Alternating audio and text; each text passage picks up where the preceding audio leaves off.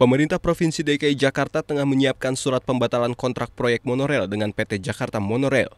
Rabu 14 Januari 2015 di Balai Kota Jakarta, Gubernur DKI menyebut mangkraknya proyek jadi alasan utama pembatalan kontrak. Makanya kita lagi cari dasar hukumnya tidak bangun-bangun gimana? Kontraknya lemah aja. Jadi sama orang mau menikahi kamu, tapi nggak nikah-nikah, terus kamu nggak boleh nikah sama orang, itu bingung kan? Terus soal perubahan jalan Terus mau bubaran suruh bagi harta, gimana gitu loh.